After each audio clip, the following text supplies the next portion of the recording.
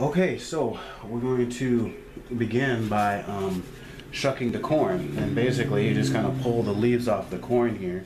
Um, I think anybody that's actually dealt with raw corn, you just, you know how to do this. I shouldn't have to explain it too much. Now, I'm going to keep the corn silk.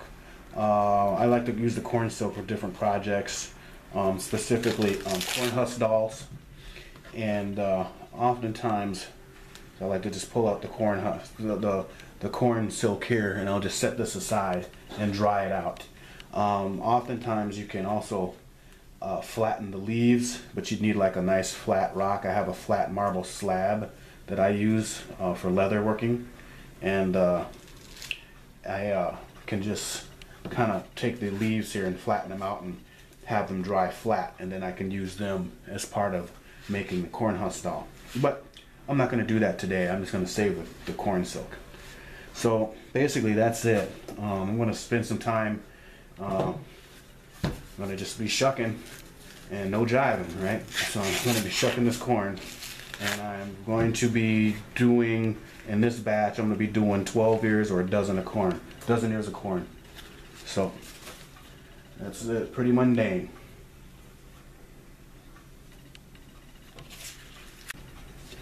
Okay, so I have shucked six of them, uh, six ears of corn, and um, I went and washed them off. Try to wash off some of the silk if you don't want that. But the thing is, is with corn silk, is that it is um, very good for you. Um, you, dried, especially, you can make a tea out of it. It's got tons and tons of health benefits, anti-inflammatory, um, good for cholesterol. Uh, it's been used traditionally um, for many, many thousands of years uh, as a as an as an herbal remedy. So um, you might want to save your corn silk. Um, I'll leave a link below on uh, um, what you can do with the corn silk and how it's used and such like that. So a little bit of corn silk. In other words, in other words, what I'm trying to say is a little bit of corn silk isn't gonna uh, hurt you. So anyhow, um, what I'm gonna do next to start to process these is I want to, to make this easier, is I want to cut these in half, all right? So I'm just take my blade here and just cut that in half like that. The reason why is because we can stand these up like that and it's shorter. They're easier to manage, okay? So when, when we cut these like so, all right, so now what we can do next is is we're gonna need to, I'm gonna get a bowl here get a bowl all good and ready. And uh, what I do, and many people know how to do this, but for those that don't, you just, the reason why I cut this in half is to make it easier. It's a lot easier to do this next step um, than balancing it precariously on its tip. So make it flat, and then you want to just shave off the kernels. You're not trying to cut the cob, but you want to shave off the kernels like so. And then you can turn it, shave off the kernels turn it, shave off the kernels. So however you choose to do it. You don't want too much of the cob at all. It doesn't really hurt at all. But there you go. So real, real easy. Real easy to get those kernels off and then you can discard the cob if you like. Um, I've once, I've once made a corn cob pipe. Um, I may revisit that and show how to do that because um, there is a such there is a such thing as herbal uh, smoking blends. So um, I don't smoke myself, but I just wanted to. I'm, I'm a Popeye, the Sailor Man um, fan, so he had a corncob pipe, so I uh, tried to make one and actually succeeded. Succeeded, it worked. Um, so at anyhow, um, I'm gonna get rid of the cob here like that. So that's how you um, just shave off the uh, kernels that you're going to need. So that's my next task is to um, shuck them, shuck the ears of corn, uh, and then cut them in half, and then shave off the kernels. Alright, so this is what um, six uh, decent sized, medium sized um, ears of corns yielded. Um, so uh, and this is raw, all right? So I'm gonna talk about that for just a second here. So um, as I've been doing this, I've found out that um, there's um, some differences. Uh, in common sense would say such dictate such things, but uh, definitively uh, there is some differences between drying or processing your the, the corn raw versus um, taking uh, an ear of corn, shucking it, and boiling it for a little bit, parboiling it, uh, or you know, for a little bit, and then uh, uh, shaving off the kernels and drying it. Uh, the texture and the color and the smell is different. So you know, if it's uncooked, it tends to be a little bit. The color isn't as vibrant of the cornmeal, and I'm talking about the cornmeal. So the cornmeal isn't as vi- vibrant. Uh, it's a little duller. Um, it tends to be a little finer when you uh, grind it up, uh, and uh, but but but but it's really really sweet, really really sweet tasting. When it's uh, cooked, the color is a lot brighter. Uh, the cornmeal is brighter. Uh, the cornmeal texture is more grainier, a little bit more coarse, and then the it's it's it's sweet, but it's not as sweet in, in comparison. So um, I'm just gonna kind of give that to you. So basically, for taste wise, if you want something really sweet in your cornmeal, then uh, process it raw. Uh, if you don't want, if you want something with less sweetness but a little bit more coarseness, uh, cook it first, and then process it. And then if you're worried about color, um, then you want, if you want some bright color to your cornmeal, then you'll want to uh, cook it. Um, if you don't care about the color, then just use it raw. So uh, that's kind of a rule of thumb that, that from my experience, uh, you may have different. I mean, different regions will have different types of corn, different species of corn. So uh, here in the upper Midwest, and this species of corn, I don't know, I believe this is this yellow sweet corn as it's called, uh, is this is what we're using and this is the results I've gotten. So what I'm going to do is I'm going to go and I'm going to shuck these. I'm going to uh, cook these for just a little bit. I'm not going to cook them thoroughly, but I'm going to cook them a little bit. And then um, I'm going to mix them because uh, I like both. So I'm just going to mix everything together so there will be cooked and uncooked kernels uh, that will create this batch of cornmeal. Okay, before I put these uh, into the pot to boil these, um, I just wanted to kind of give you um, a yield number. So these ears of corn are coming out consistently like eight inches long on average. And so what I'm finding out is that uh, for that size, approximately, for six six ears of corn is going to yield uh, about three cups of dried kernels when they're all dehydrated and everything. So six is going to go down to three cups and then uh, this when with this, let's say this was dried so the, the this if this were three cups of dry kernels would yield a cup and a half. So it's going down by halves. Corn has a lot of water in it. So just so that you know so for every uh, six e e ears you're going to end up getting a cup and a half of cornmeal basically. So basically a third of of what um, of what uh, you you would expect. So just wanted to give you that. We'll we'll, we'll see how that uh, turns out when we get there. But right now I'm gonna put these in the pot. Okay, so we have um, our corn, both cooked and uncooked, all mixed in. This is approximately like 10 cups of corn uh, in this bowl, and that's combined. So this is that uh, those 12 ears yielded 10. I this is an approximate. I'm pretty sure per ear it was probably about a cup or or so, or even a half a cup uh, per ear. You know, you can do the math on that, obviously. But um, this, this yielded approximately 10, maybe 11, 10 and a half cups. Uh, it might be actually 12 if I took the time to actually really kind of shave off and measure accurately. But anyways, it's a lot of corn. So we're gonna um, pull out our dehydrator. And uh, now, again, this is cheating. I mean, I, I because of what's going on these days with our uh, with this uh, planned. I mean, this uh, sca- uh, scam. I mean, this uh, pandemic. Um, uh, I'm doing a lot more resilient living videos versus primitive. I am going to get back to that. I have some couple of ideas, some things that I do want to do.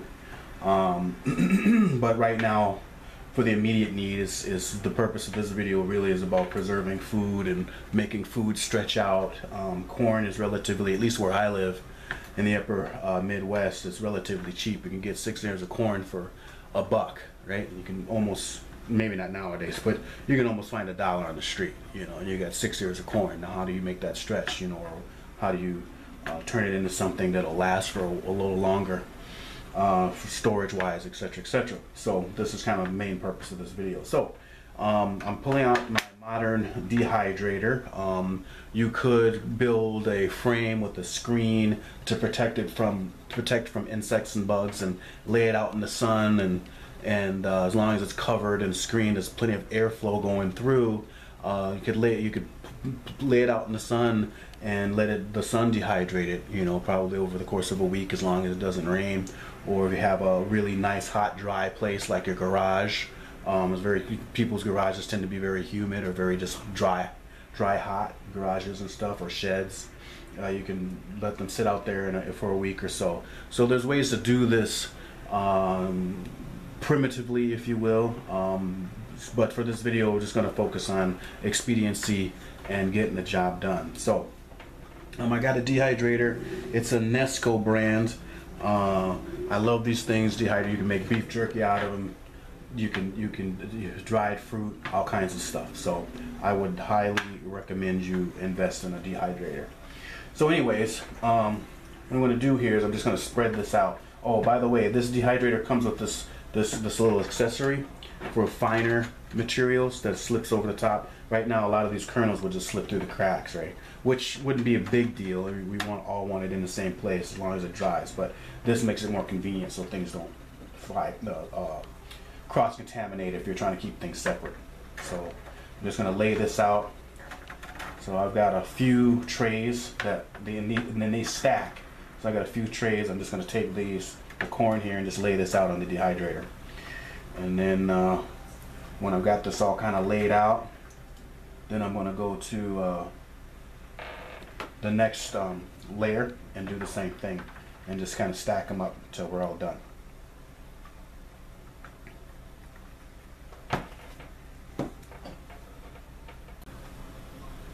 All right, so we got three trays with these kind of laid out here.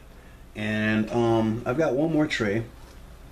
And I'm gonna use this tray here actually to um, dry out this corn cob. So um, that's what I'd like to do. Um, because uh, like I said, I wanna see if I can show how to make a corn cob pipe. So I wanna, I'm kind of pre-prepping this. Uh, so we'll see how this turns out. Maybe it'll fit, maybe it won't. I don't think this will fit. It's kind of a big one. That's why I chose it.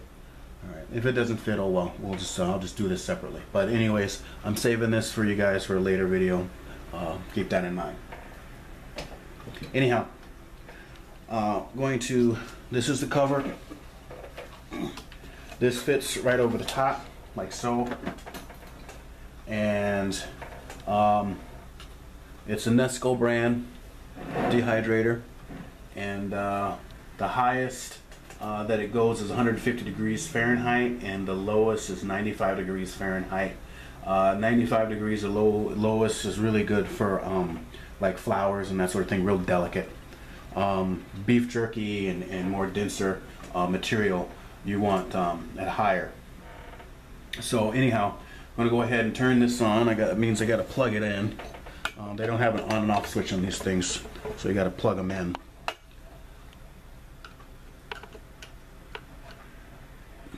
Just a second.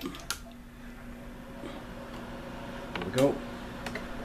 I'm gonna turn this up to, since we got a lot, I'm gonna just turn this all the way up.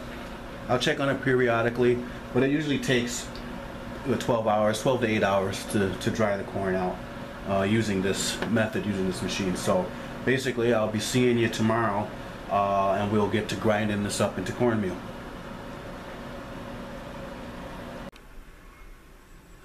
All right, so it's the uh, next day. Rather, it's been um, nine to ten hours ish uh, at 155 degrees Fahrenheit, uh, dehydrating our corn using this um, Nesco brand food dehydrator.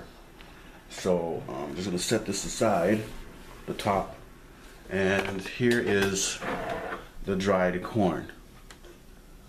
So again, of course, you're taking the moisture out of it so it shrinks, so we have a lot of room left, um, or more room than we did before. But the, they're all dried.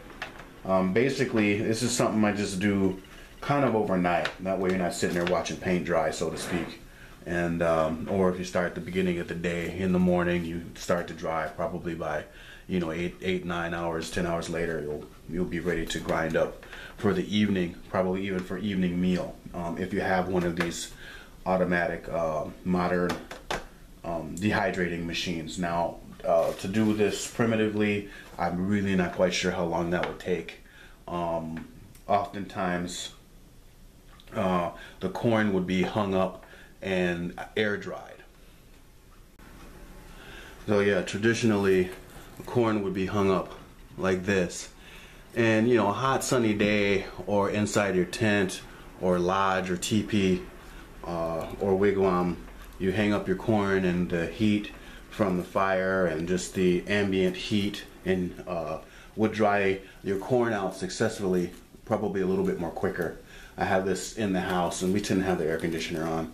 So um, not very primitive at all. And it's taken a while for this to dry, but this would be one way um, that corn was dried uh, for use for later to make to grind it to meal and whatnot. So uh, I'm just trying this out. It'll take a while, um, and that's okay.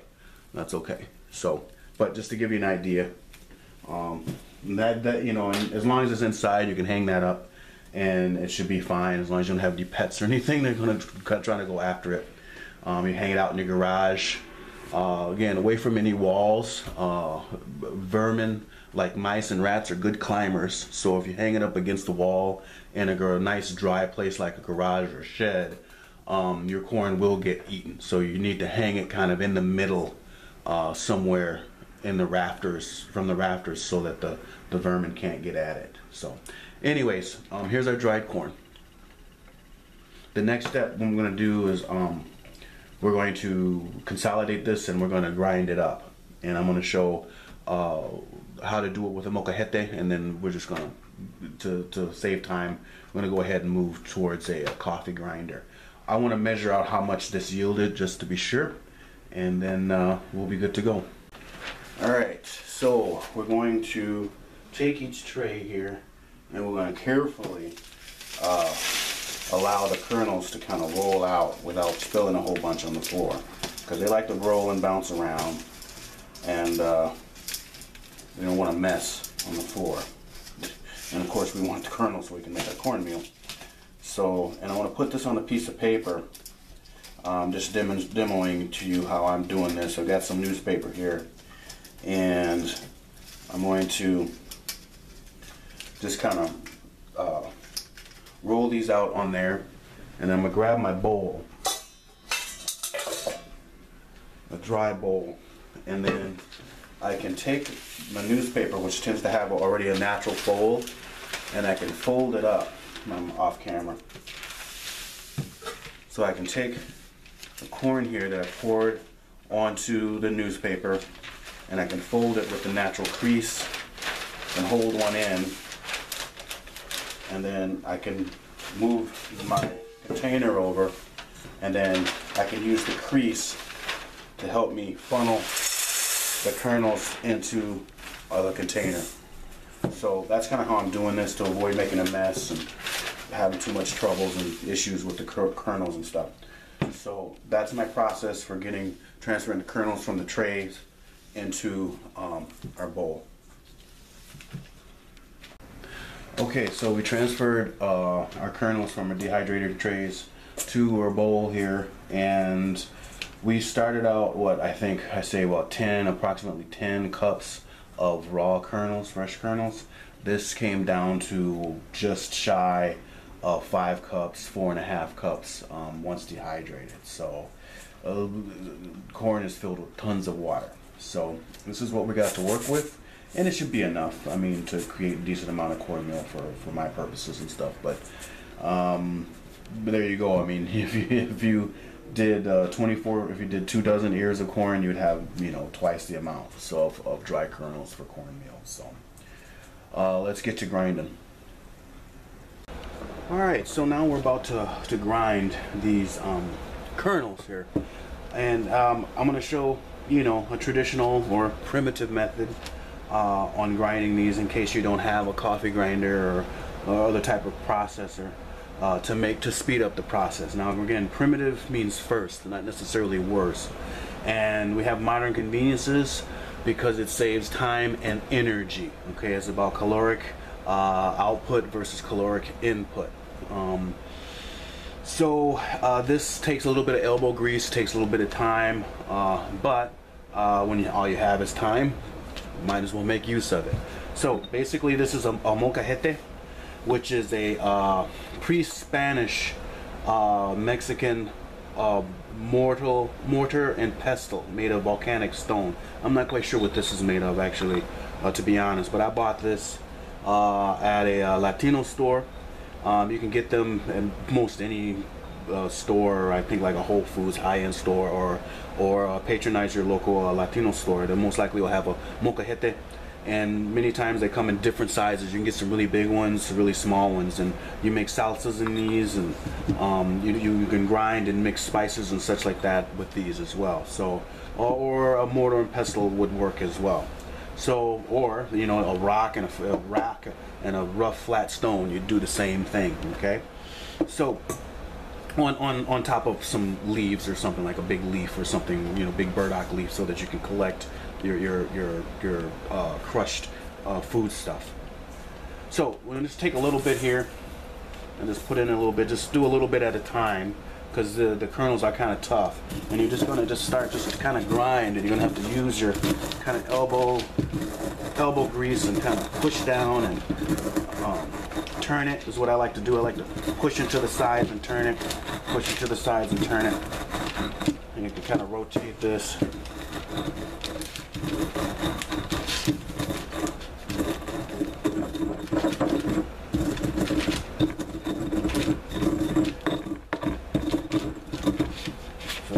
yeah, it's coming out.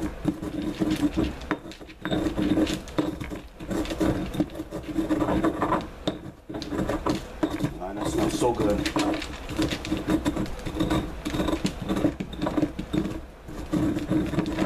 And see, and doing it this way by hand, you can make the um, your cornmeal as fine or as rough as you like it or need it. Um, so oftentimes uh, mush like just a real simple food can be made uh, by grinding up your corn and putting boiling water over it. It's kind of like oatmeal, and it can be rough uh, if you want it. You have bits and pieces of corn in it, you know, whole corn in it, or you can make it real fine. If you have uh, pre-teething babies, or even babies with no teeth, or rather babies that are teething or babies with no teeth, you can make some food, some corn mush that they can eat, they can digest by grinding up the corn like this. So I just don't want to make this too long because I could keep going on and on and on. But I hope you get the idea. You can invest in one of these and, um, you know, put TV on or put your, your, your, your earbuds in, listen to audiobook, you know, listen to my videos, uh, watch, you know, just, you know, you can always make time, make use of your time while you're just watching TV or doing something else. Uh, passively, you can just be grinding up your, your cornmeal. So this is how you do it with a molcajete. Um, we're going to move over to uh, just using a coffee grinder. Okay, so I was able to grind this up pretty good. For my intents and purposes using the molcajete, this would be pretty good cornmeal. It's really rough, be good for breading, uh, for fish, uh, or, or, hush puppies or something like that. So um, using the molcajete, you know, if you don't want to pull out your modern modern tool, you can certainly use, do it by hand. So this turned out pretty well. We're going to put this over here in our bowl. I'm going to set this aside so now I just have my uh, coffee grinder that I don't use for coffee. Uh, now if this is all you have and you use it for coffee, just clean out really well. You might have a little coffee residue, but um, you know, I understand not everybody has the resources or means to, to have multiple coffee grinders. Um, I get it. So, um, basically, with this type of coffee grinder, and this is a Mr. Coffee coffee grinder brand, uh, I just take, I have a little dispenser here, and I just pour maybe one or two scoops of my uh, raw, of my dried kernels in the coffee grinder. And then, the way that this works, I have it, you have a little button here, and you just press it down. And sometimes I like to shake it up a little bit. Make sure I'm getting it all. And then, doesn't take much but it, it, it, it makes really kind of fine cornmeal. Okay, so this is a real fine cornmeal uh, versus what you would do with a molcajete, which you could get it this fine, it would just take longer. So depending on your taste, um, if you have the luxury of having both, then you could probably even combine both if you wanted kind of a blended texture. So what the next next thing I'm going to do is um, I have a sifter. You don't have to do this, but um, I want to be I want to be thorough. This is optional step, but I have a little sifter here, and I just take this and I can pour my cornmeal in here, and then I can sift it, and then what I get left is uh, some of the meal or cornmeal that didn't necessarily break down all the way, and still pretty pretty big. And again, you may want that in your cornmeal, and that's okay. If I want to be, break this down, be really fine, I'm just going to separate this out and I can run this through the grinder again uh, if I wanted to. So I'm just going to collect a bunch of this as I go through um, the kernels that I have here and then I'll just run this through again and just give it one more pass and be done with it. I'm not going to be too uh, anal about it. So that's really it. Um, I'm not going to bore you with going through, you know, all four and a half, five cups of the kernels and grinding them up. Um, I will circle back at the end. Okay, uh, all in all, our uh, 12 ears of corn, six ears were cooked, six ears were raw, uh, yielded approximately three cups of cornmeal. Uh, and those were eight inch long uh, ears of corn uh, for the most part on average. So you know, I mean, it's it's not a terrible amount of work. Um, and if you want some fresh cornmeal that smells good, and cornmeal is relatively cheap. I mean, it's not like you're going to save a whole ton of money, but at least um, you know that there, you know what's in it. Um, it's something you can do with your kids so that they know where food comes from and not just the store, uh, and how can, how you can process it. And uh, yeah, now you've got some cornmeal that uh, you can do all kinds of stuff with. Um, it works just like regular old store-bought cornmeal. Uh, let's see, so for storage as a, on, a, on a note, so I have an old can here that I have some uh, cornmeal already made. And um, I would recommend getting some uh, silica uh, packs. Uh, and you can get these online. And uh, these are just, these are gonna take the moisture out. They're gonna help get rid of the moisture in your um, in your dry stuff. So when you're drying herbs and different things, and I had to learn that the hard way. I, I harvested. I had a probably about two and a half cups of um, cattail pollen that I had harvested. That was hard fought over a couple of years. And when I went to go use it for a recipe, um, there was mold in it. So obviously there was moisture that got trapped in there, and um, it was uh, no good to me and um, I probably would have been able to save it had I thought to put silicon packs in there. So I got a pack of 50 online here and um, I'm going to just add silica packs to my stored uh, cornmeal. So I'm not quite sure how long this will keep, but uh, I, you know, we'll, we'll, we'll see how it goes. But at least in the French, if you want to make some muffins, some some uh, Johnny cakes and whatnot, uh, cornbread, there you go.